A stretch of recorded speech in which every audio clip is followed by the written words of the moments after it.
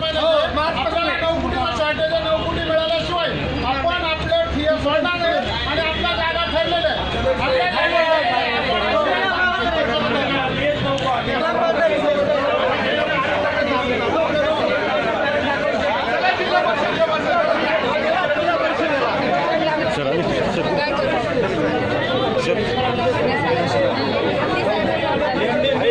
साहेब हात काढा ना.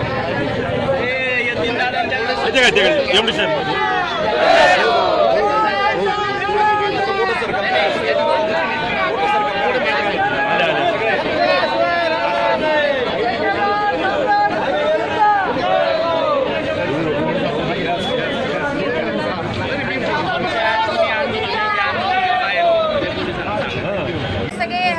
जसं अध्यक्षताईंनी आपल्याला आता सांगितलं आहे की आमच्या जिल्हा परिषदेचे पैसे अटकलेले आहेत. त्याच्यासाठी आम्ही सगळ्यां सगळे वाट बघत होतो की आज नाही तर उद्या आमच्या जिल्हा परिषदेचे सगळे पैसे हे एन डी सी सी बँकेकडनं दिले जातील. पण आत्तापर्यंत ते काही दिले गेले नव्हते. म्हणून सगळ्या ठेकेदारांना आणि जे गरीब लोक आहेत ग्रामीण विक ग्रामीण भागात राहणारे लोक आहेत त्यांना कुठेतरी हो त्यांना कुठेतरी आज आपण इथे न्याय दिला पाहिजे. सगळ्याच विभागाचे मग ते समाज कल्याणचे असतील पोषण आहारचे पैसे असतील अपंगांचे पैसे असतील ठेकेदारांचे असतील कृषी विभागाचे असतील पूर्ण जिल्हा परिषदेचे जे पैसे याला अडकलेले आहेत तिथे आज कुठेतरी आम्हाला इथे येऊन बसावं लागतं आहे कारण आज आत्तापर्यंत आम्हाला एन डी सी सी बँकेकडनं काहीही ठोस रक्कम अशी मिळा- मिळालेली नाही आहे आता जर ती रक्कम दिवाळीच्या आधी आम्हाला नाही भेटली तर आम्ही सगळेच पदाधिकारी अध- अधिकारी पंचवीस हजार लोक इथे येऊन आम्ही उपोषण करू. आम्ही हे जिल्हाभरही सांगू की जे लाभार्थी असतील किंवा जे ज्या लोकांना पैसे नाही भेटले आहेत मग ते आशा वर्कर असतील अपंग असतील समाज कल्याणचे असतील कृषी विभागाचे असतील सगळ्या लाभार्थ्यांना आम्ही इथं बोलून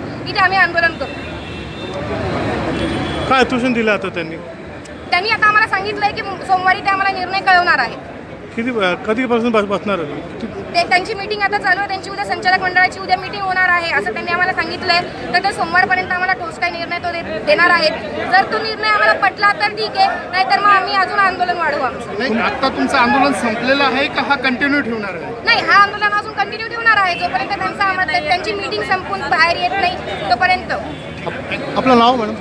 नयना गावित जिल्हा परिषद उपाध्यक्ष नाशिक.